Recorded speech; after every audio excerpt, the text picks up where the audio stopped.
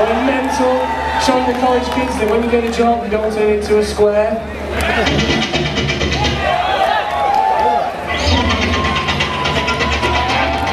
I like hell.